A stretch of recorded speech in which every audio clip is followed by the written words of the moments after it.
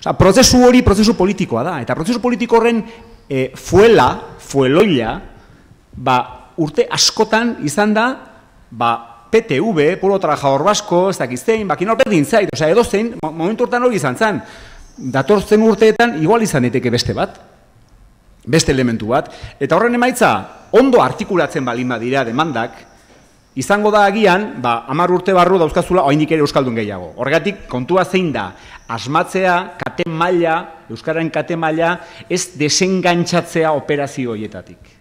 Eta horretarako, e, identitate politika, nahi bali badezu, importantea da. Horregatik, horretarako, iztun iztun komunitatea sendotzea, erakuntatik aparte, importantea da, baino ez da bakarra. Hori da, e, bizkat, sartu nahi nun beste, beste, beste gaia. Errigintza ipatu dugu, errigintza, buru jabetza, erabakia. Ekarri dut, sarri hona indiaren aipu bat azurmendik jasotzen duna jakinen azken aurreko e, alean. Libre izateko eskubidea, libre izateko obligazioa da estatua izateko eskubidea, nahi baina maizu parafrasia, estatua izateko obligazioa da. Jarraituko deu, euskaldun izateko eskubidea, euskaldun aritzeko, aritzeko obligazioa da, edo izateko nahi bale maizu. E, askatasuna, erabakia eta obligazioa erabat lotuta daude. Eta hori da norre batean, nik uste, zertxo baina paradigma aldaketa baten zantzua erakusten diguna erabakiaren, buru jabetzaren planteamendu, planteamendu horretan.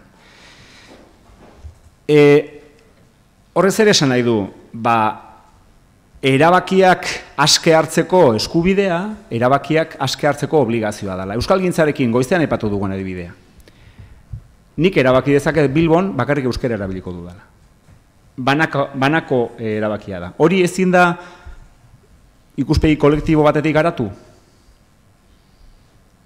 Nik uste hori botere politika argi bat dala. Eta hori aplikatuko nuke nun, eta eskubidea juridikoki jasota dagoen lekuetan, autonomia erkidegoan. Autonomia erkidegoan inguru periferikoetan, Bilbo handia, iriak, botere paradigmaren arabera esango nuke, legeak babesten nau. Nik eskubidea badut. Eskubide hori egikarituko dut personalki. Erabiliko dut euskara ez bakarrik administrazioan, arlo pribatuan ere bai. Eta Bilbon egiten bali madezu hori, azken asteotan, e, performance horren arira, ari geha handik eta mendik, egiten, eta sorpresa izugarriak topatzen dituzu. Ez e, alde zarrean anboto tabernan, edo Bilbaon, ez ez, zaran, euskeraz, hasi eta saltzaileak euskeraz erantzun. Are gehiago, ondokoa, bezeroa, eh, baldaki, eta euskeraz hasi lan hori, boteretze lan hori, banakoana izan daitekena, performance bat lutxo egiarena, hori nik botere politika bezala, ere morretan ikusten dut kanpaina bihar astekoa, baina bihar. Antolatu ondo eta esamen gamendik aurrera Euskaldun guztiak hemen gaudena gehi, zakizten mila, bizkaian, bilbora doazenean erosketak egitea denak euskeraz. Kanpaina simple bada. Botere politika, legeak babesten zaituen lekuetan beste politika batzuk segurunik egin beharko dira geometria aldakor baten arabera. Ze Euskal Herria Euskal Herria esaten dugu, baina Euskal Herria ez da gauza bera, eta ez Bizkaia Gipuzkoa araba Nafarroa eta Iparraldea, ez, ez, ez da gauza bera, eh, ez dakit, e, bastan edo, edo txarkoaga, edo lutxana. Gaur, geometria aldakor horretan, badaude elementu, e, leku batzuk babes juridikoa eskaintzen dizutenak eta beste batzuk ez. Babes juridiko hori gabe zeuden, zauden lekutan, Nafarroa eta Iparraldea bereziki, hoietan politika da eragin politika eragin politika. Eta da, leloa, Euskal Herrian baita euskeraz ere. Eta horren alde borrokatu. Zonifikazioak kendu, ofizializatu, instituzionalizatu, eta bar, eta bar. Eta gero, beste dimensio bat, identitate politikarena, nik hori, ikusten dut, zinbestekoa dela. Badaude gune simbolikoak, txepetxeka aipatzen dituenak. Erdi gune simbolikoak. Hoiek bilakatu daitezke gune iaia ele bakarrak ondo antolatuta erakundeen babesekin. Kontua da, neurri batean daukagun Euskal Herria kontutan hartuta, ba, jokatu behar dezula geometria aldako horrekin. Leku batzuetan, botere politika, beste batzutan eragina, beste batzutan identidadea. Ez daude kontrajarriak. Zaila gerta daiteke, eragile bakar batentzako kontraesankorrak izan daitezken leloak diskursuak plazaratzea. Igual, ez da hain erresa ulertzea. Horregatik, bueno, lan manaketa bat ere, ez da oso problematikoa. Batzuk egin dezatela lan bat, beste batzuk beste bat, beste batzuk beste bat. Jakin da, bueno, eremu bakoitzak eskatzen dula bere lan mota. Bueno, Odrio Zola. Eh, esan du paradigma aldaketa bat daula. Ni uste hori iztegi eta gramatikan erabileran antzen bateala. E, zu irakurtze zaitunak, e, irakurtze ditu nazio linguistikoa, nazio kulturala, euskaldun izatea, eta guain e, gehiago irakurtza dugu estatu gintza, bueno, zegogo eta merezi dizu horrek, eta beti ere, jardunaldien galdera erdigunean jarrita, eh? Euskararekin zer, gaiaren bueltan. Ni euskalduntasun politikoaren aldekoa naiz, eta arrazoia simplea da. Estadurik, naziorik gabeko hizkuntza gehienak munduan eriotzara, eriotzaren bidean dihoazte. Eta esplikazio hori da, hain zuzen ere, komunidade etniko edo nazional horiek ez daukatela beren burua, beren komunidade linguistiko eta kulturala autokontrolatzeko eta eta gobernatzeko gaitasunik. Beraz, estadua alderdi horretik ezinbestekoa da. Beraz, e, nazio, nazio linguistikoak nazio politikoa behar du eta nazio politikoak estadua behar du. Gertatzen da ordea, dialektika horretan, estadu eta nazioen arteko dialektika horretan zer lehenesten dugun. Batzuek eh, estadua lehenesten dute, eta euskaltzaleok, euskal, euskeraz bizi nahi dugunok nazioa lehenesten dugu. Mm, hain zuzen ere, uste dugulako balioa, euskalduntasonen balioa da, dela baliorik handiena euskal herriari dagokionez. Euskal, esan dut, milaka urtetan iraunduen herri bat, hizkuntza baten araberak, historia baten arabera, beraz euskalduntasuna sortu duen eta, eta ber sortu duen herri bat gera eta horri jarraipena ematea izango litzateke uste dut gure herriak gizateriari egin dezaioken ekarpenik handiena. Ez dut uste e, autobusak eta, eta trenak ekoiztea denik herri honen eginkizun behinena, baizik eta uste dut euskalduntasunari eustea edo euskalduntasunari berrezkuratzea Zeren Euskalduntasun hori galdua daukagu, ondakin eta bizigera, uemako herri eta bizigera, Euskalduntasuna bestela nun dago. Bai, badago gero Euskal inteligentzia bat, Euskal inteligentzia ez da Euskal intelektualen multzo bat, Euskal inteligentzia da aldez edo, aldez edo moldez Euskeratik edo Euskaren inguruan bizi de jende guzti hori, irakasleak, irakaskuntza, edabideak eta gainerako guztiak, eta beraz, bagera, ba, milaka batzuk, naiz eta donostiako e, zinegotzi horrek uste duen aina ez izan. E, baina kontua da, hain zuzen ere, badagoela beraz Euskal Intele, Inteligentzia bat, Euskara naziotza hartzen duena, eta gero badago Euskal Herriaren, Euskal Herri historikoaren ondakinak, UEMako herriak, beraz oraindik ere Euskararen densitatea handia duten herriak. Baina hor, esan dudan bezala, dela gutxi egindako azterketa batea, trolosaldeko e, e, herrietan egindako azterketa, Eh, periodiko irakurrena diario basko da, uneko irurita marri irakurtzen da, berria, euneko 6 zazpi, eta gara, euneko bederatzi uste dut. Orduan gertatzen da, Euskalduntasun, Euskal Herri historikoat, historikotik geratu zaigun Euskal, Euskal ondakin oien, oien sujeto oiek ere, eta nik etxean dauzkatu sujeto oiek, ez direla, ez dutela bizi hain zuzeren zentzu politikoan beren Euskalduntasuna, zentzu etnokulturalean bizi, bizi dute, oraindik ere, esan dezakegu prenazionale, naiz eta gero botoan abertzalea eman, sujeto horiek, sujeto horiek egin zuzten ere beharrezkoa dute diari basko.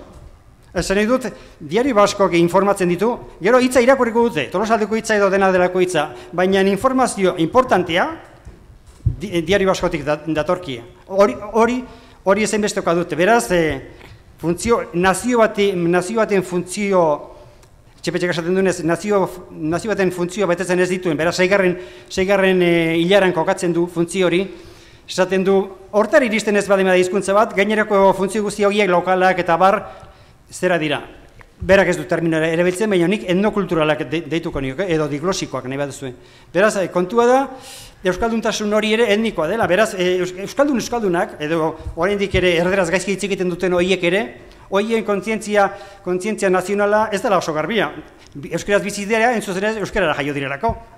amezketan edo lizartzan, ez denak, baina asko eta asko bai, eta esaten dut, nik etx, etxean dauzkat horrelakoak. Beraz, orduan alderdi hortatik kontua da Euskaldun, baina er, egora minorizatu, bate, batu, egora minorizatu batean dagoen hizkuntza ikasal daiteke.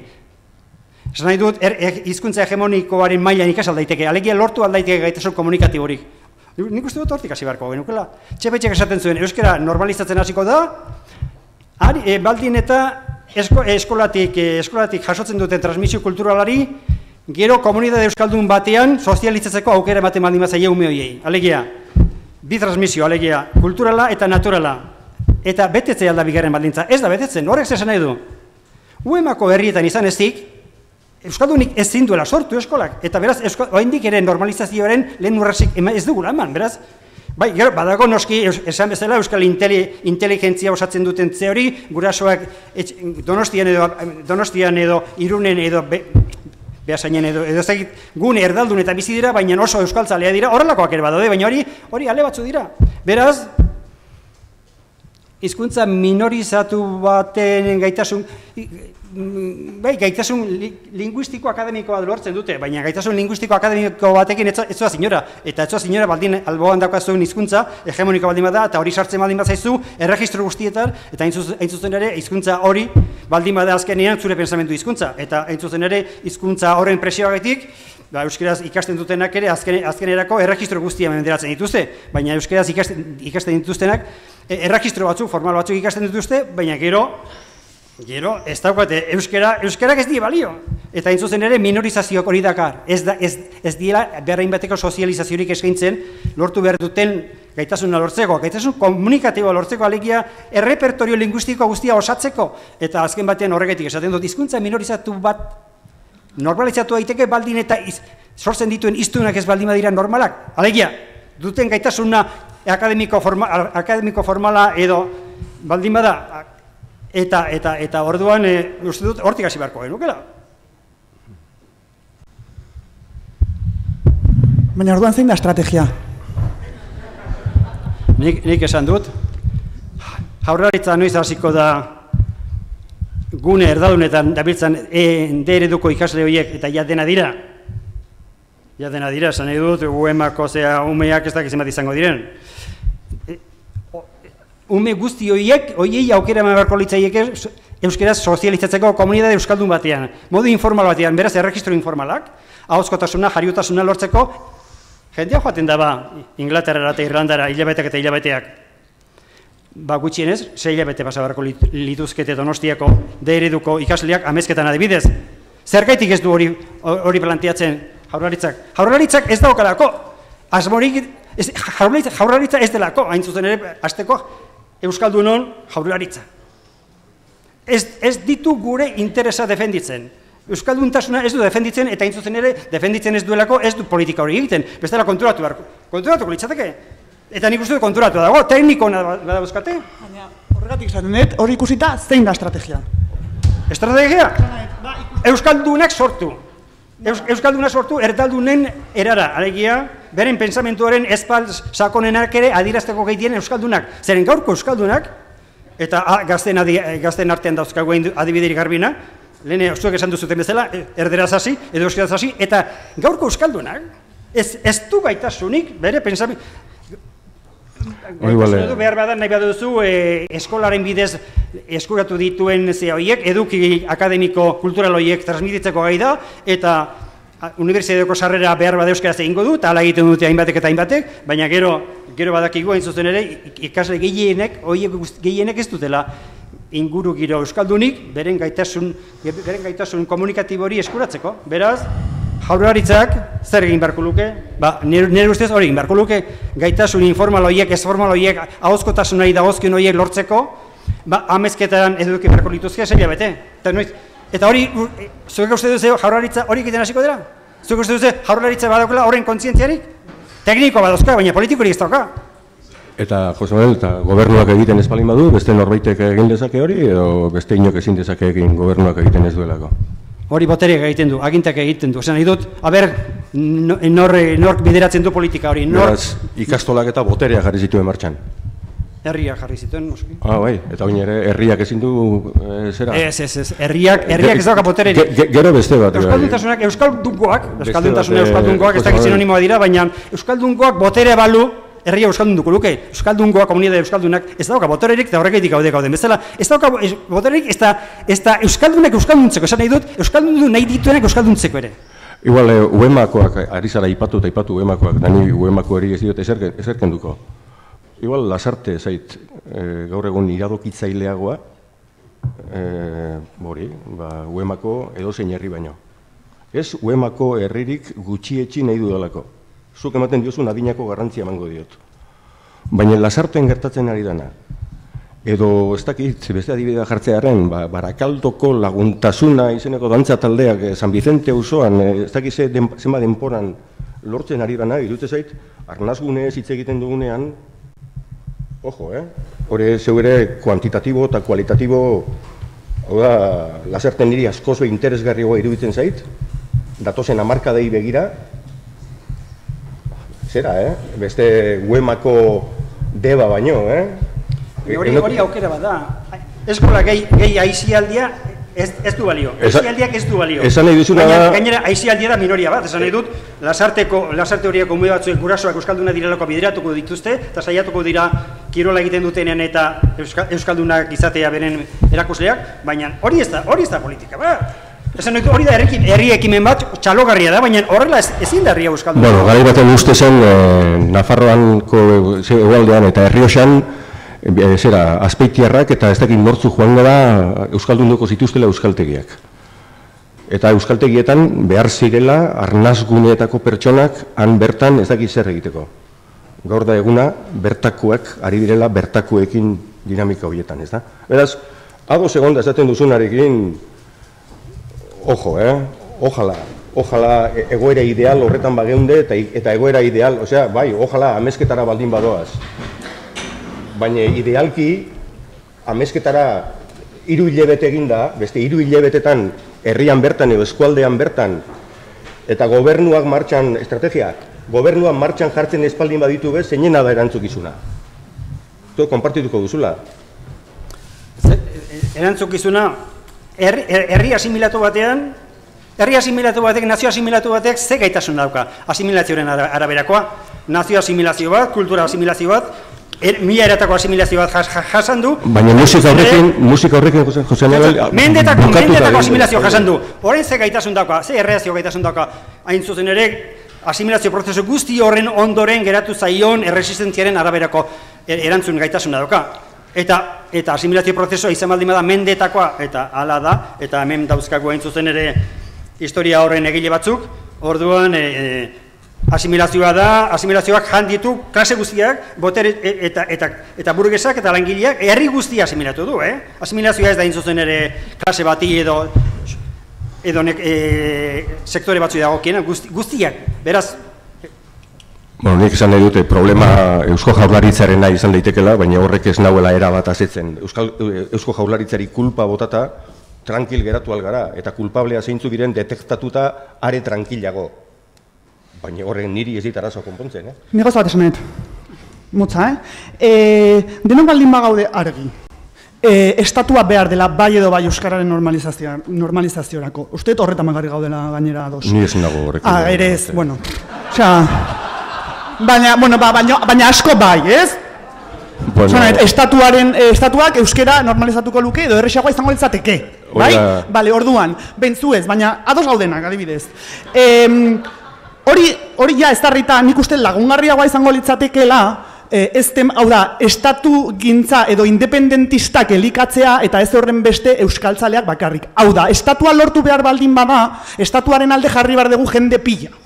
Ez bakarrik euskeraz dakitenak, jende pila. Eta orduan, hori lortu behar nahi baldin badugu, zergatik ez ditugu beste estrategia batzuk sartzen, eta hor, komenigarriena nik uste ez, den, ez dela esatea, ez, eske euskal estatuan euskerarik ez baldin badago, ongizaterik ere ez. Bueno, ja, eta feminismonik ez baldin badago, ongizaterik ere ez, baina ez gea horrela jarriko denak, ezta? Osea, lortu nahi duguna da, euskal estatu demokratiko bat, e, hobeto bizitzeko.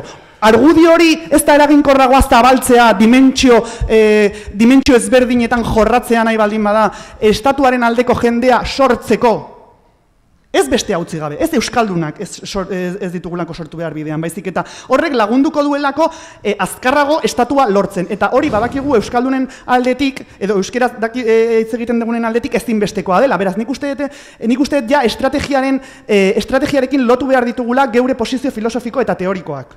Igual, galdera bat, e, Jule eta igual, e, zerari, e, danontzako eta neure buruaren txako bai, eh? Orain arte, egin ez duen zer. Orain arte egin ez den zer egin dezake Euskal Estatu batek. Euskerarekin.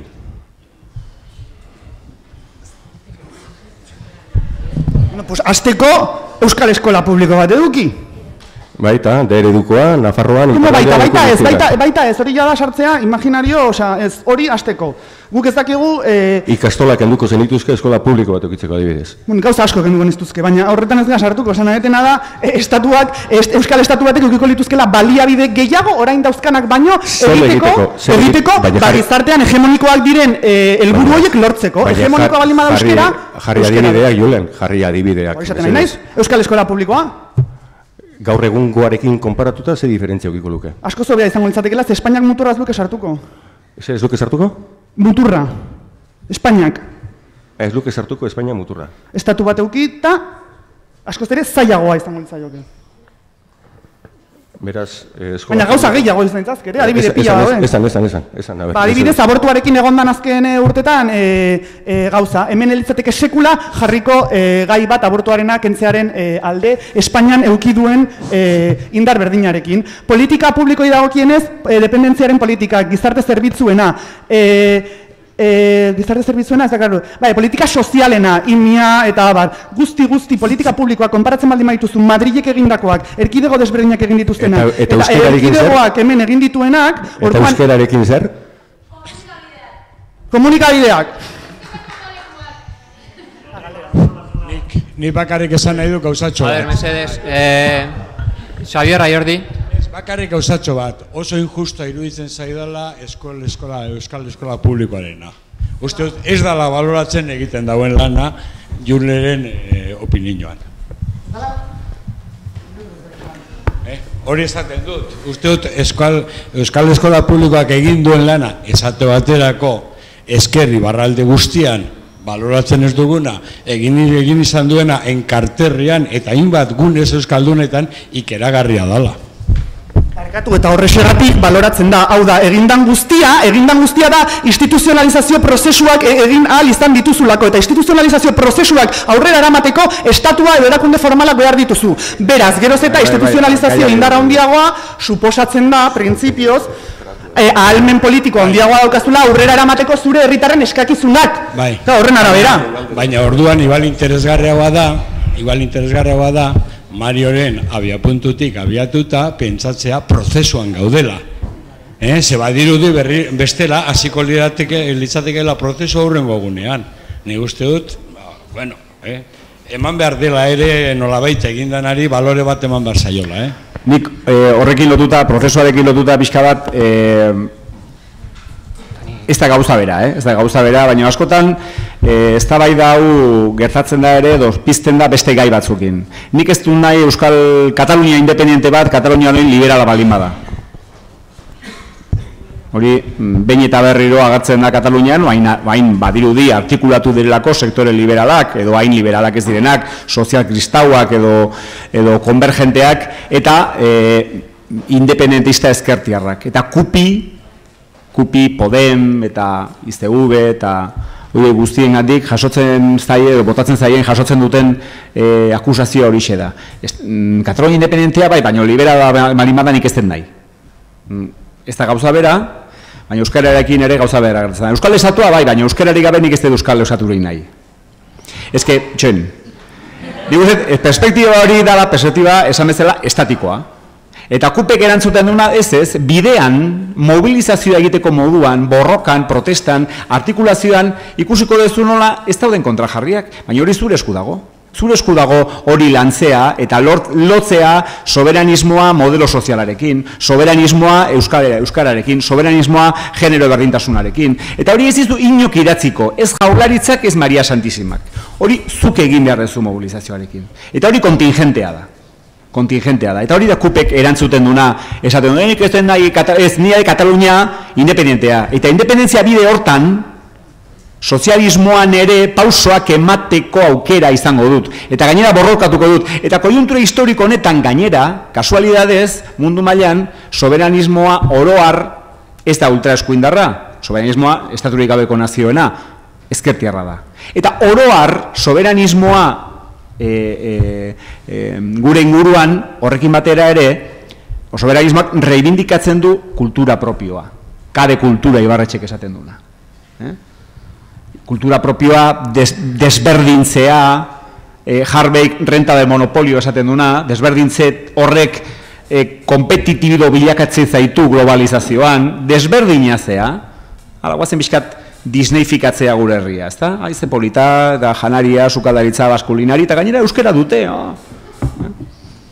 e, e, horrekin niko esan duna dana, e, prozesuak berak aukera ematen dizula, eta kojuntura historiko orokorronetan aukera oso politak daude, lotzeko estatu gintza eta estatuaren errebindikazioa e, hainbat gaiekin, besteak beste, justizia soziala, genero berdintasuna, ekologia, lurralde garapena, e, garapen alternatibo bat, eta bar, eta bar. Eta aukera hori da, e, e, txundigarria, ez dugu baloratzen zer daukagun esku artean, horregatik, ba, gaizki, gaizki.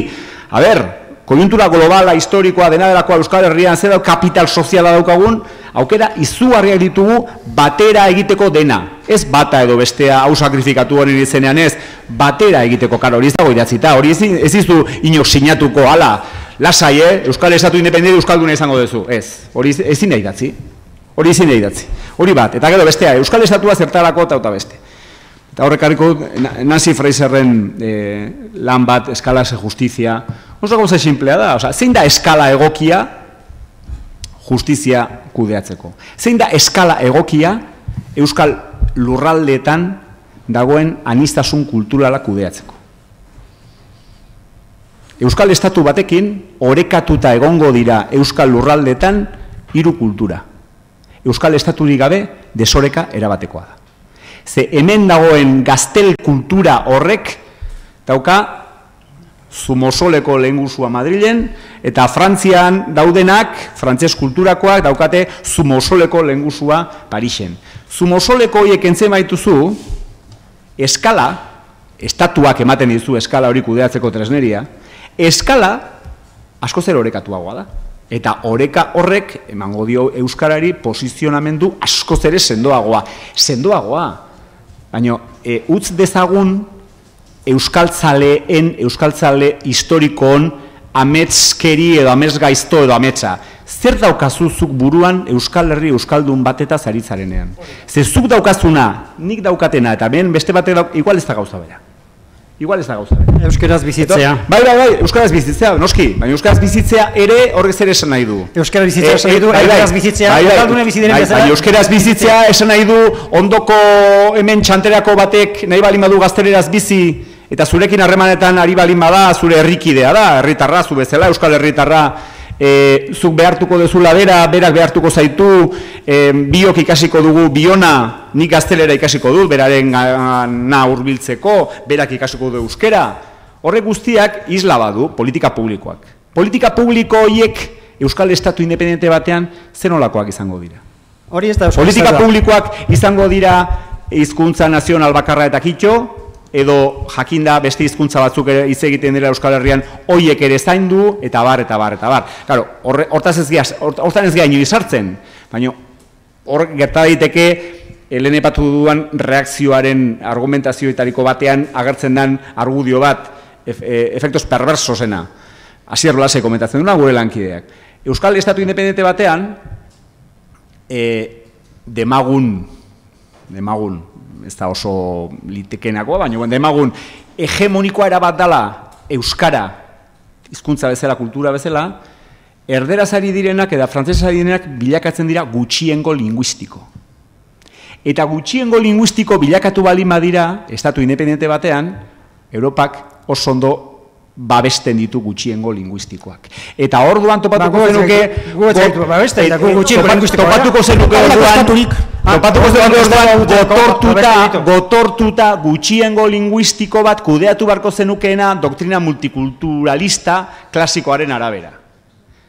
Eh? Horregatik, eh, eta azgea inoiz, balizko euskal estatu hortan jartzen, horregatik, balizko estatu bat nik nahi dut argita garbi, eskala asko zobea dalako kudeatzeko, baina badakit, horregatik estatu gintza, nazio gintza, gintza, ez da inoiz amaitzen, euskal estatua izan eta horrengo gunean, arazo oso potoloak izango ditudala arlo linguistikoan.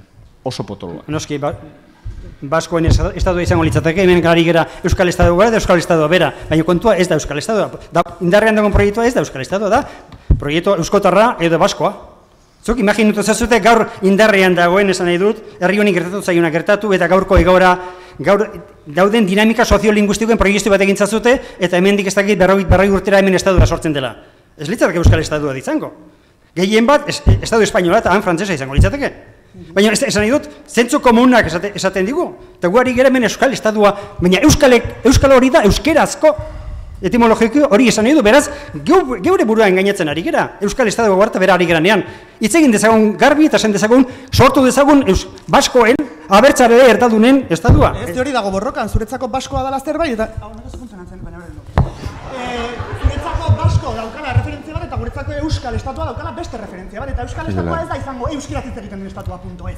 Ni horretarako nago borrokatzen, zu borrokatu zaizu horretarako, baina ergin behar duguna da respetatu, hemen jende asko ez Errespetatu egin behar da nazio, nazio, Estado espansionista batek esan eh, nazio batek beste nazio bat historikoki konkistatzen du, okupatzen du, kolonizatzen du, ordezkatzen du, asimilatzen du, eta gero, hain zuzen ere, zu aste, mende batzuen ondoren, gaur bezala, gaurko momentu historiko honetan hasten zera aldarrikatzen, jatorrizko is, nazioak badutela eskubidea, hain zuzen ere gertatu zaienek gertatu zaiela kolonizazio bat, okupazio bat, asimilazio bat gertatu delako, eta orduan hasten zaizkizu hain zuzen ere izkun, estadu nazionala, eh, estadu zapaltzailearen hizkuntza zapaltzaileen eskubideak Alegia komunitate horrek ze eskubide izango lituzkeen balizko estatu usten. Horrela hasten zaizki, zaizkizu, eta uste dut, zuek ere horrela hasi zeratela, momentu honetan.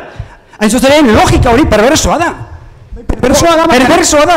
Zeren eta ari zera, ari zera prozesu historiko enmozide bat legitimatzen. Nahi gabe, baina hori ari zera egiten. Bale, baina nik horregatik garretu dizu, zein da zure estrategia? Eta ez da zu estrategiari jarri mai gainean, horregatik, eski kontua da zure e, ikuspegiarekin, osea, ez daukagu euskal estatua, ez estatua ez, ez zer inoiz. Ze, claro, gure euskal komunitatea, hau da, euskeraz egiten duen komunitatea da oso txikia, eta ez du konprenituko, osea, minori, minoria horrekin eh, lortuko dugula euskal estatua. Bueno, ver, hori arazoa. eh, Ez, a ber... eh, Julen, Julen. Eh, p- bueno, ber, nik eh, i- intuitzetenagatik, pues bueno, eh, mai ingurura, mai inguru hontarako planteatuta zeuden eh, hipotesiak edo evidentzian gehiatu dira. Eta dia, bat, estrategiak, diskursoak, praxiak diferenteak dauzkagu. Baina agerian geratu da helburuak ere baietz. Ezta? Hau da, helburuetan ere diskusio bat dago. Edozen kasutan, e, aipatzeke gehatzeana da e, Euskal Hiztun komunitateakin zer. E, estatu gintza prozesuan e, ze hizkuntza izango dan praxia elikatuko duna. E, zen ez du balio esatia e, estatua eta gero. Bez? E, est, estatu gintzan hizkuntza batekin edo hizkuntza batzuekin ari gea. Orduan eh, nik eh, iradokitza izuetena da, zentratzia eztabaida eh, prozesuan. E, bestia beste ikusita estrategia eta helburuetan ez zaudetela ados.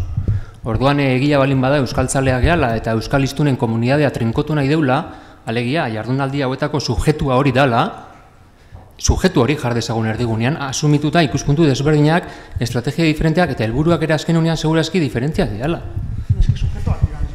Claro, suje... Bai, e, baina, bai, bai, ados, baina jardunaldiek erdigunean jartzen sujetua da Euskal Hiztunen komunitatea. Euskararekin zer, nazioaz hitz egitea, estatuaz hitz egitea, baina interpelatzen gaituzte Euskararekin zer, galderarekin, Euskal Hiztunen komunitatearekin zer, horren argitan pentsatu mesedez, e, estrategiak, diskurtsoak, e, eta horren argitan eztabaidatu helburuak. E, jardunaldien e, galdera hori dalako. Nik, bueno, apurote, Mario esatezunarekin, eh, prozesua, prozesuak eh, zertuko du emaitza, ez da? Beraz, estaduak, zer lortuta gero zer ekarriko duen, uste dut galdera ona dela, eh? Uste dut galdera ona, ze sigurtasun osoz esaten duzue Euskal Estatu batek ez daki zer eta badaki zer ekarriko duela.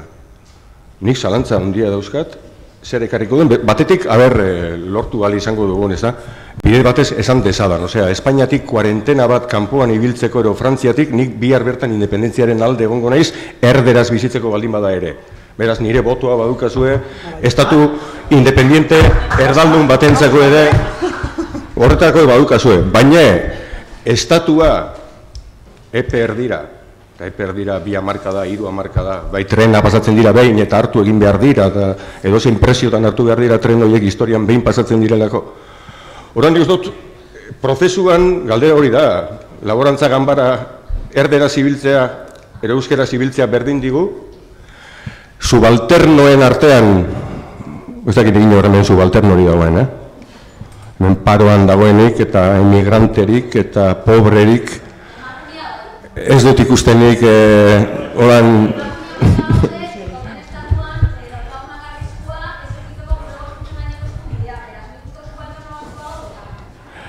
Bai, bai, bai. Ados nago. Bai, bai, ni somatzen dut, neun naizela subalternoa zuen diskursoaren aurrean. Somatzen dut, subalternoa neun naizela horretan, ez da? Hizkuntza berean ari gara, baina gutxi etxita, ez da? Lehen esate zuen, zera, que, Mario, que zera agonikoa, ez da? Eta nik agonikoa, precisamente, zuen mezuetan ikusten dut, ez da? Hain gutxi izan da, zelan pretenditu alduzu gehiago. Zelan jarri alduzu zure burua erdigunean horren gutxi izan da. Agonia, zuek ari zarete zabaltzen mezu horrekin, ba, behar bada gurekiko, ez da? Hain gutxi izan da, zelan eh, agonia zu ezertzen duzu azkenen. Beraz, prozesu horretan, euskaratik eta euskeraz egitea. Edo, euskaratik erderaz egitea, edo erderatik euskararen alde, edo ez dakit, hor, euskaratik eta euskaraz ibiltzea prozesu emanzipatzaile horri, ze garrantzia ematen zaio. Osea, biztan da, eh? borroka guztiak legitimoak izango dira, baina zer da gertatzen dena? Hizkuntzaren bitartez egiten ditugula gainerako guztiak. Feminismoaren alde edo kontra, hizkuntza erabiliz egiten dugu ekologiaren alde edo kontra hizkuntza hizkuntza erabiliz egiten dugu.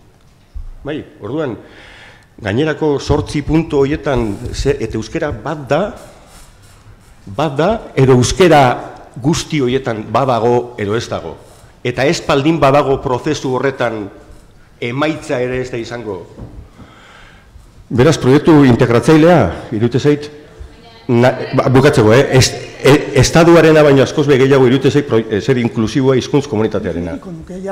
Bai, zabaldu, bai.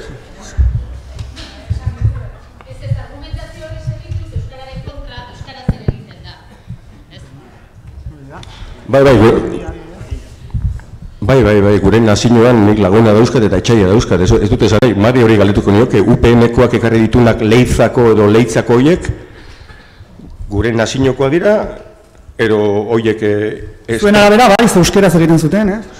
Behar bada horren aitona monak batzuk karlista eta reketeak garai hartan espainola ziren eta nundik bi belaunaldi geroago behar bada hementxe egon gaitezko egitako batzuk.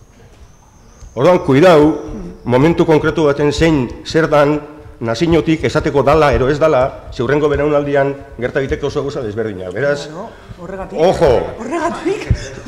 Ojo, ojo, ojo, ojo. Horregatik aldatzen dago lako, hori da. hori da esan duguna euskalduntasunarekin eta eta prozesuaren kontzeptuarekin eta estatugintzarekin alegia. Eraiki ze prozesu bat dela denbora guztian estatu formala eduki edo ez. Denbora guztian egongo gehala borroka horretan, horregatik esan dugu. Da dena prozesua eta euskaldun ulertzea ez da berdina, irureun, orain dela irureun urte edo hemendik berreun urtetara. Hain zuzen ere, prozesu eraikitzaile badalako eta guk egiten degulako. Eta ze hizkuntzatan egiten duzun hori, ze hizkuntzatan egiten duzun hori, izango dugu aldeko edo izango dugu kontrako. Hizkuntz komunitate gisa nire subjetu politikoari begira.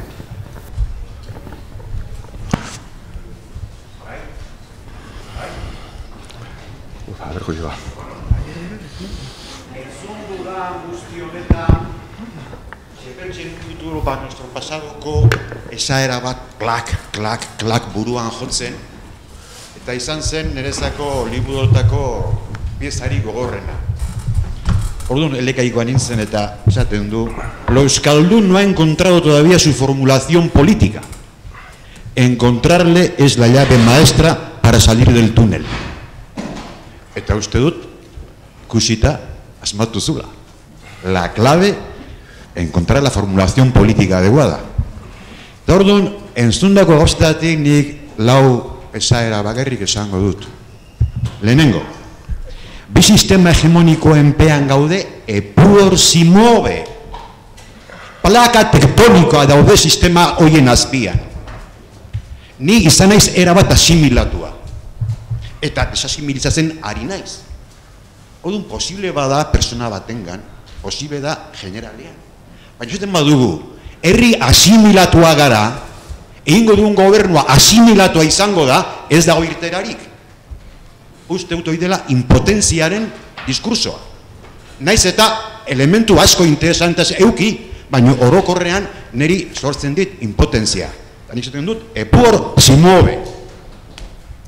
Hasta los asimilaus egiten dute euskeraren alde. Emigrantek beraie. Ez dut bintzenik de eredua, milaka eta milaka emakume erdaldunen erabakiri gabe. De eredua. Bigarrena, angustiaren kontra bizi gara. Bizi gara. Da hau, ba, julenek eman din neri bogora, hau zeratik entzun diot gehiagitan, aukera bada, estaturik bai ala ez, jarraizen dugun ala ez, urto ingo garela beldur edo, nik uste dut horia utzi behar dugu alde bateran. Bizi gara. Ni erdalduna nintzen eta oin euskalduna naiz, ari bezala beste mila asko.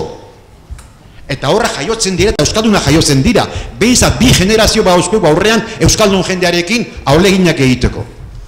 Eta gero,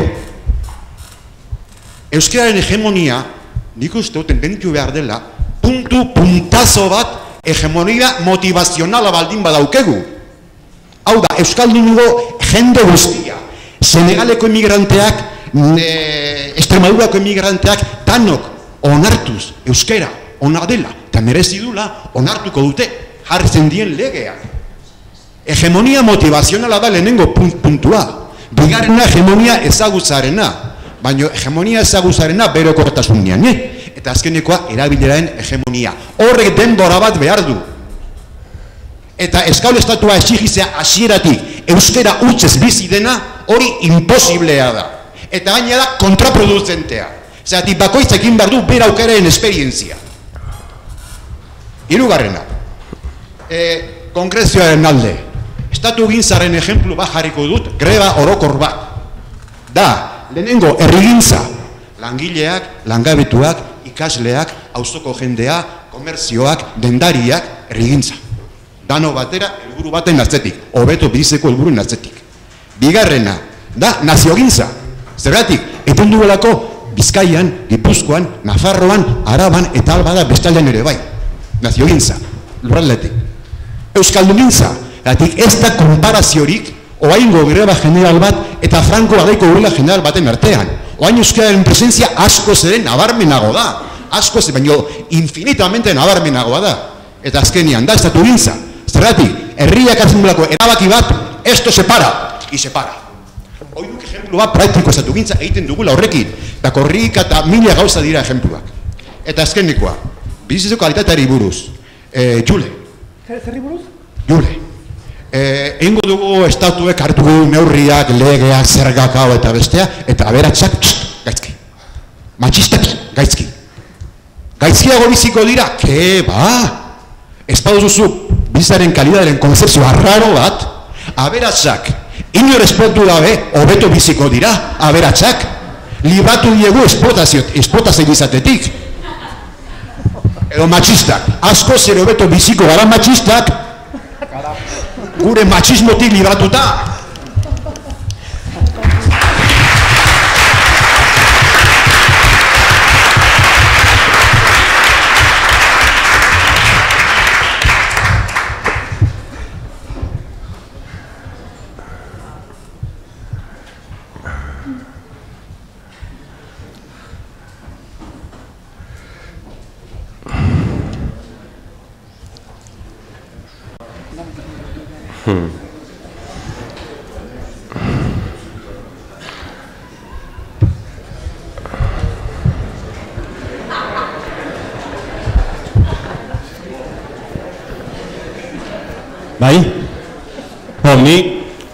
Eta behin e, esatea harritu nahuela pixka bat zer, zer nolako e, garrastasun puntua izan duen e, zuen arteko zera.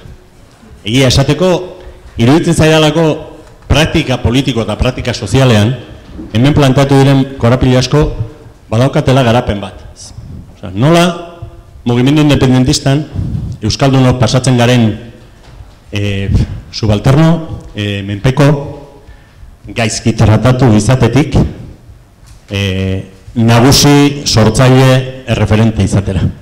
Nik bentsat, eta nik nire esperientziatik esaten dut, mugimendu independentistan hori bizi izan dut. Tokatu zait metalinguistika itzulpen gintza marxista-leninistaren txostenak ezin irentzi, hortik itzultzea eta euskaraz bere menpekotasun guztiekin, bere zauri guztiekin, erdarakadaz jositako e, euskal ez oso dotore behar bada, baina euskaraz etengabe sortzen duen mugimendu batetara. Eta gainera ikusi dut, herri bezala egiten gaituzten funtsezko ardatz guztietan, e, bertasunetik, lurraren, e, lurraren altxikimentutik eta bar eta bar, Euskarak e, bizi berritzea iturri oparo izan du da. Eta ez du zergatik e, lotzen diren arnasuneak lurralde parametroetan.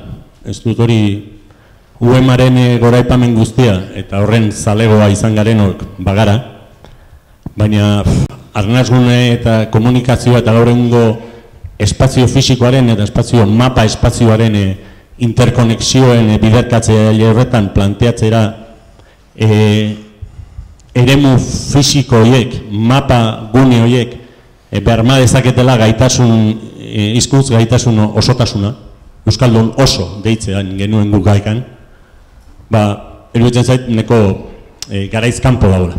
Zoritxarrez, e, zorionez, baita ere, e, hori mundu hori bukatu da. Eta beste elemento bat ikusten duena da, e, nola planteatzen den estatuaren espektatibak eta estatuaren espektatibak nik hemen planteatu diren dikotomia horiek eh, zer den e, zera e, nazio kultural bezala egin behar dugun e, berreskuratze prozesua eta herri zapaldu bezala nola ustartzen ditugun bi elementu horiek ba e, lehen Mario esan du ez? Ba, etaren sorreraren inguran eta hor sortzen den agonia eta agonikoa izan zen leherketa sozial, kultural, askatzaile baten uolde, bueno, uolde, uin, olatu, tsunami polita, bai? dialektikoa, dialektikoa gorik badago. Orduan, e, zerbait badago hor, gu ari gara olatu horren azken e, aparren gainean, eta ari garala olatu berri baten sortzaile. Eta ni harritzen hauena, eta bi hilabete da hemen e, zuekin berriro osorik, ez? Naiz eta, ba, harrituta nago mapa politikoan, mapa kulturalean, mapa sozialean zenbat kimu, zenbat aukera dauden eta ze uskurtuta gauden.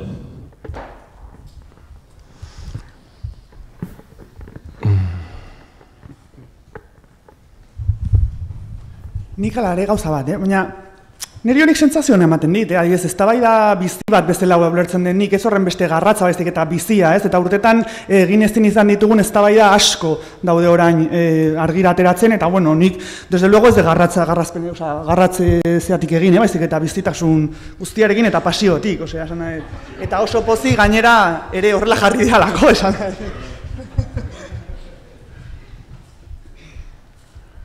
Bai, bueno, ez dakit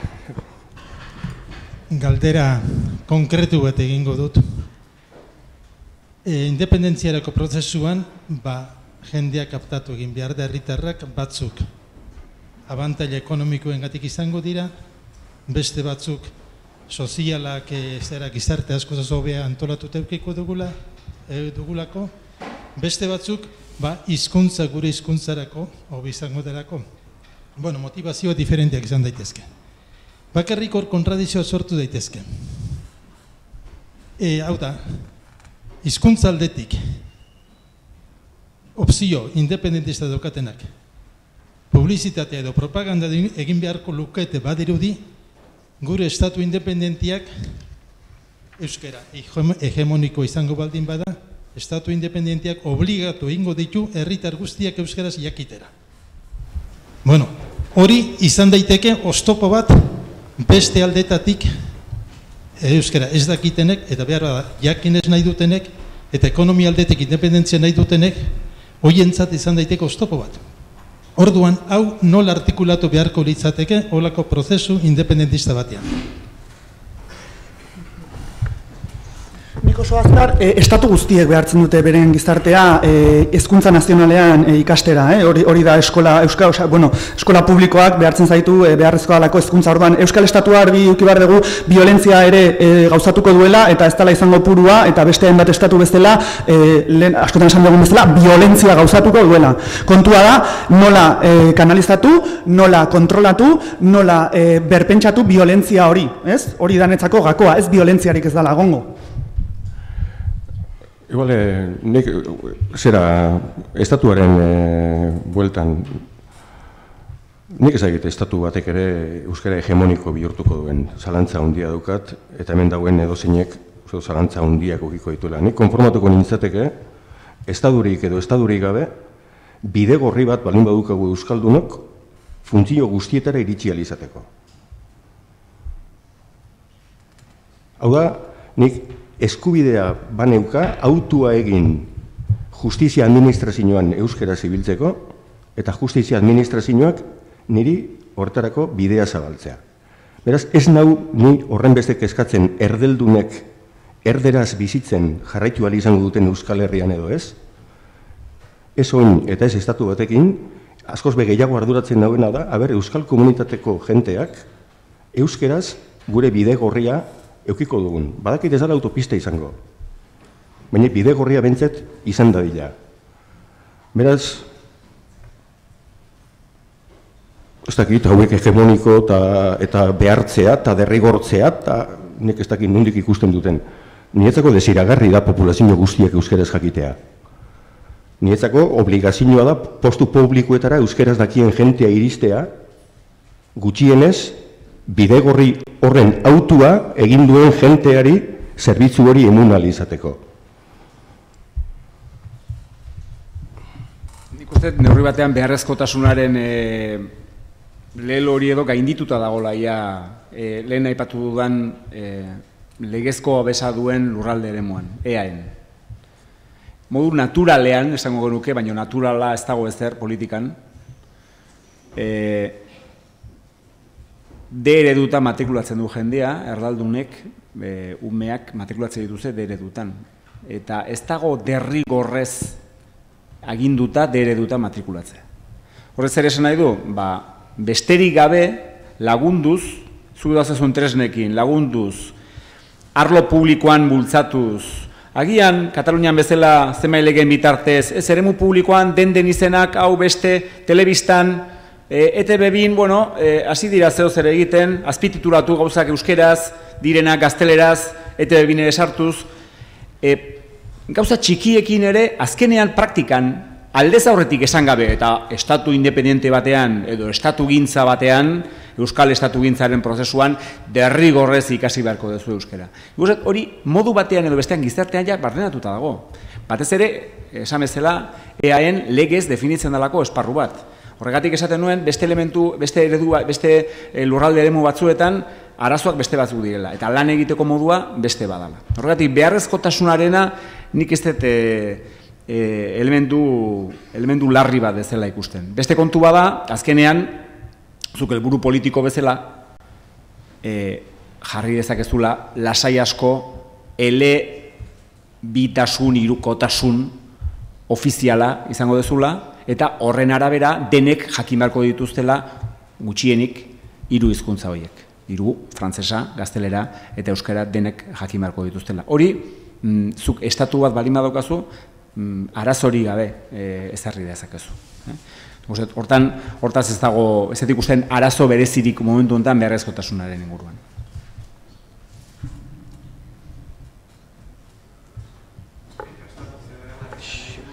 Beste badoan,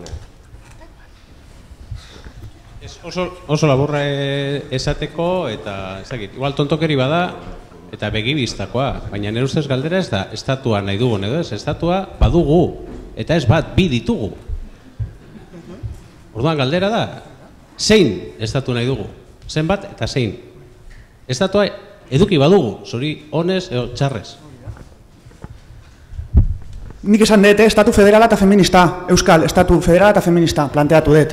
E, eta hain zuzen ere hori azimarratu nahi dez, e, askotan badirudi galdera bala, ez, e, nik e, estatua euskalduna ez dalima edo ez dakiz ez, dut estaturik nahi ez barkatu zuk estatua badaukazu edo Espainiarra edo Frantziarra, beraz. E, edo Espainian edo, edo Frantzian geratu edo euskal estatua.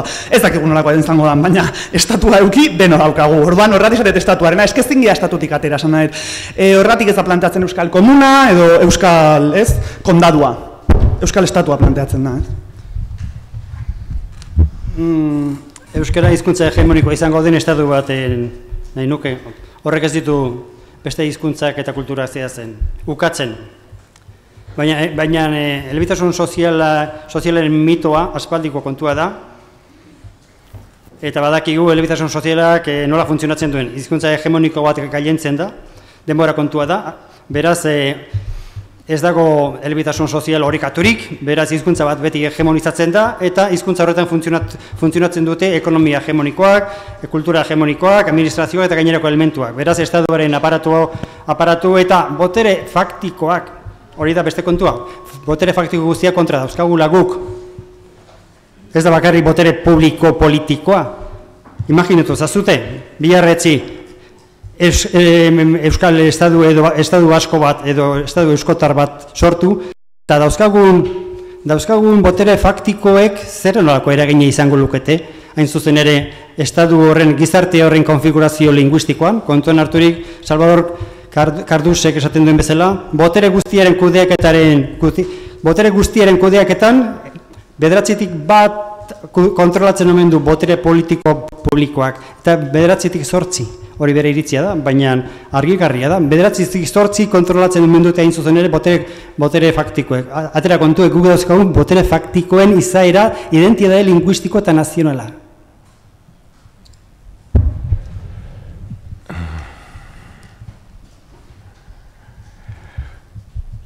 Bueno, prozesua da importantea. Lehen, eh, pentsa, aterako nahiz ni doia mendia defendatzen, ez da? Idea mendiak zezan duzu Coca-Colaren eh, inguruan, eh, Mario, bueno, adibidea. Ekar dezagun, eh, ekar dezagun eh, gertuago, eh, Eusko Jaurlaritza edo dituen eh, zeretan, ez da? Ze aldaketa ekarri du EH Bilduk azkeningo edo, herri batasunak edo udal herrietara eta kasu honetan lau urtetan diputazinora, beste inok eh, egin ez duenik, edo lehen egin dudan galdera, estadu batek zer lor lezake, oain arte lortu ez denik. Zer egin du?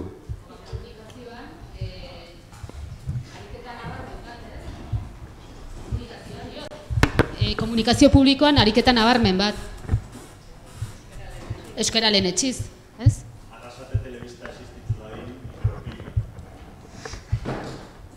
Uste duzu arrazate telebista sortu dela EH Bilduren eberri batasunaren e, eraginagatik.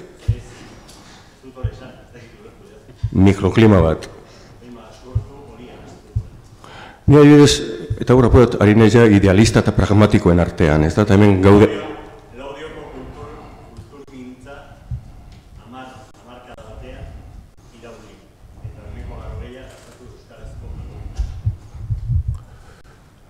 Oso ondo, Xavier. Ariza, laudioko... Laudioko... Bai. Ez nik ikusten duena da, eta ari EH Bilduk ere, eta bale, oin izango duzu, gero PNV-ren kontra ez ere izango dut, ez da? EH Bilduk... Nik esango dudala, Xavier, zuke ez, nik esango dudala, oin izango dut EH Bilduren kontra, eta gero esango dut PNV-ren kontra. A ber, e, donostiako zera da, bai, joan betiko lekura. A ber, garitanok eta izagirrek lautik bi izan da, nola onartu duten 2008ko zuzendaria erbelduna izate, ez Bizitza osoan,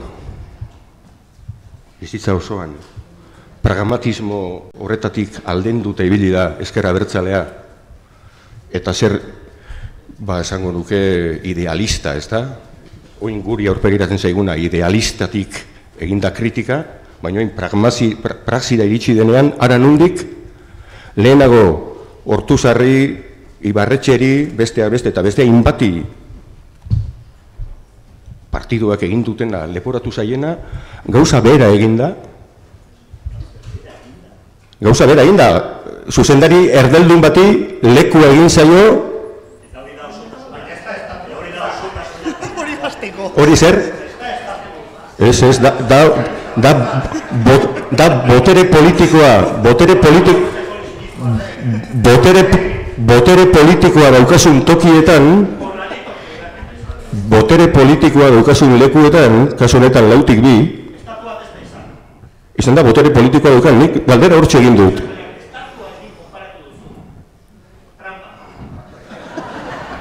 Bueno, orduan, Luitxo, ez egin zuzuk, Luitxo, ez egin zuzuk, ez dago independiente batek gaur egun egiten bez dugun zer egin ahal izango lukeen.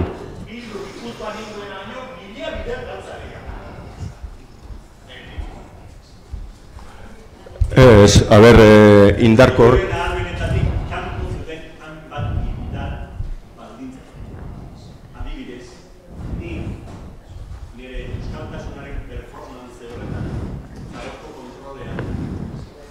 Ez, ez, gauza, performantzeko. Babesten ez nagoen, estatu eskain bat daukadalako, eta babesten nagoen, estatu ez daukadalako, egin izan. Ez nahiz gauza, performantz horretan bilbora jaten, agortzen. Nere energia, nere biziaren energia, ez du lako ematen horren eguneko nanoteknologiaren tamainako behar dena. Ni estatuan eratu behar ditut nire indar soziala, nire indar pertsonala. Benetan dut. Eta badakit estatu hori, estatu hori izango dela, e, kriollo, behar bada, termino, ez? Esango da, oraingoz, hala da, ez da aimara izango, ez? Ez da izango, estatu euskalduna, baina historiatik baten batek esaten badu baskoien estatuak ez ziola ez ere karri euskarari, nire ustez, hankasartzei, karagarria egiten du, edo beste laps begiratu izagun gure klasikoei. Orduan, horretatik nik esate dizu, zer emango didan, zenbat ordu nahi duzu? Zenbat ordu nahi duzu? Xavier, beste modu batean zenbat, planteatuta. zenbat ordu nahi duzu benetan barneratzeko zer suposatzen duen mendetako menpekotasunari balbula askatzea. Zer suposatzen duen isolamendu batetik, isolamendu armario batetan bizi zarenean, ateratzea bi urte pasata gero eta eguzkiak jotzen zaizu, jotzen zaitunean begietara erori egiten zara lurrera, badakizu? Efektu hori da estatu bat eskuratzea. Argitasunean bizitzea eta ez behar izatea pauso bakoitzarako kontrabotere, eta zi kontraboterez egin da Euskararen aldeko perreskuratzea berroita mar urtetan, naiz eta batzuk apolitizismo, nire ustez, nire iritzi, eta itzia ez, da, ez du nahi izan e, bumeran bat, ez? Naiz eta faktore politiko-estruktural eta partidokraziarekin ere lotuta dauden faktore elektoralak ahaztuz, Euskarak egin duen berreskutasuna, berreskuratze, herritar oso baten parte izan da. Arrotasun, hiltzoridean zegoen herri baten arrota, arrotze mundu bat. Eta horretan, bizia jokatuz. Eta bizitza emanez, biak. Eta estatuak emango dit hori, ba Suedian jaio banintz bezalako denbora, bizia, nire zaletasunetarako. Hoiek oso aztuta dauzkodalako. Zuk ere, hizkuntzarekin egingo zenituzke gauzak. Ez hizkuntza bera, etengabe sendatzen hik. Eta, ari jora, ba, izango zen, seguraski, ba, pedagogiaren referentzia universal bat. Ulertzen, oza, zure doai guzti horiek izango zuten garapen ikaragarria motxila hori, eta esaten dizut, estatu ere arriskua da, jakina, Irlanda ikusi dugu, eta kriolioak zer izan ziren, e, aimaren menpekotasunean, ikusten nahi ez duena, ez du ikusten. baina hori aspalditik idatzita dago, prozeso politiko hori lideratzen duen klase antolatuaren eta hizkuntz autuaren baitan izango da. Eta impulso horretan, independentismoa elikatuta dago euskal zaletasunetik. Edo bestela, etorri ginenok e, gure esku dago, belarri honek egin zuen estadistika. Eta benetan, Sueziar. Bueno, estatuarena eta zertu, lehen bota du punto bat, eta nahi nuke igual eh, posible gogo balin bada. Xabier Rolanok eta Markel Loranok gaur egun konpartitu behar dute zerbait edo ez? Zer adibidez?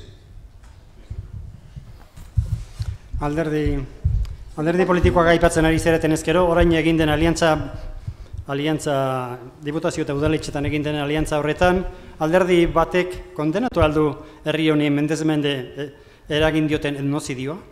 Eh, Ni dakidan ez, ez du, ez du kondenatu. Eta hoiek agintzen digute. Alegia, eragin, eragin diguten, alegia, genozidioa eragin zuten haien oinordeko politikoak dauzkagu boterean. Eta abertzale jendea, abertzale batzuk behintzat, hoiekin eskuz esku eta lasai.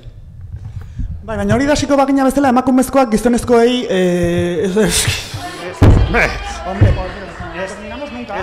No terminamos. Esan, esan dut nazio, araz, nazio arazoa espezifikoa dela esan dut. Iraungitzen den arazo bat delako. Beste, be- beste kontradizioak antagonikoak dira eta antagonia, antagonia jarritzen du bitartean ez dira iraungitzen. Baina zu, espainoltzen baldin zaituzte, Euskalduna, espainoltzen baldin badute ben, eta han frantzesten, gero horrek ez dauka bueltarik. Zu ja, frantzesa zera eta espainola zera. Hori ez da gertatzen gainerako, gainerako kontrazio sozialetan.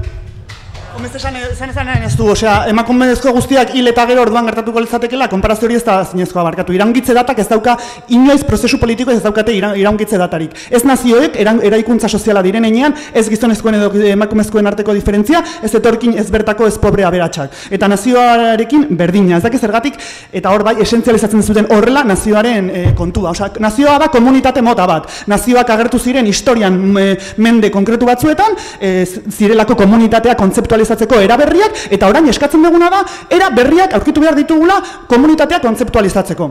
Eta era berri horiek kontzeptualizatzerakoan, a, e, eduki behar duguna buruan da zein dan helburua.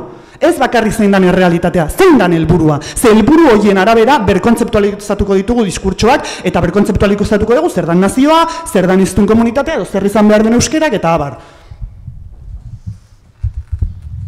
Ni lehen gora joa. Nazio arazoak e, iraungitze data du. Eta ego, eta ipar Euskal Herrian, eta ez dut aipatuko ez ozitanearik eta zbertoiarik eta gainerakorik, hain zuzen ere, menberatzaileak menper, menpe, bere etxeko bihurtzen zaitu. Bere hizkuntza, bere, bere hizkuntzan sozial- sozializatzen baldin bazaitu, frantzesten baldin bazaitu, espain, espainoltzen baldin bazaitu, eta hori gertatzen da, hain zuzen ere, zu gero zure arbasoak eta eta ez dakiz zer euskaldunak izango ziren, baina zu jadanik zure identitatea, identitatea prozesu hain zuzen ere eskolarizatu zaituzte, sozializatu zaitu- zaituzte frantsesez edo espainolez eta bukatu da. Horregatik da hain zuzen ere Horregatik berandu, berandu, eh, berandu abiatzen dira prozesu hauek munduko hizkuntza minorizatuen historia aztertzen baldin bazute konturatuko zerate prozesu horietan errekuperazio prozesuean abiatu direnean gehiena konturatu direla berandu egizela. Eskola eta hasi direnean, guemen hasi bezala bertako hizkuntzan eta transmititzen konturatu dira jadanik, jadanik atzera bueltarik gabeko prozesuan abie, sartua daudela. Alegia marrak gorriak iraun, iraun duela edo igaro direla. Eta marrak gorriak ira, iraun, ba- edo igaro baldima dira. Zu zera frantzesa, edo zu zera espainola, edo zu zera inglesa, galesen edo, edo, edo, edo eskozian. Eta horrek ez dauka bueltarik. Eskozia da horren adibide garbia, baina Irlandat eta beste hainbat. Hau prozesua espezifikoa da, hemen gertatzen diren gauzak ez dira gertatzen gainerako kontradizio eta problem- problema sozialetan. Bueno, maingurua bukatu da. E, minutu bat bakoitzak e, nahiko balu zerbait esan. Hau da, ez, na, ez gaitezen jun eta jo, esan banu edo... E, ez da o, esateke dakaun zerbait, bestela, e, hau da azken aukera. Ez? Bai, bai, bai, baina. Bueno, ba, hause izan da, eskerrik asko.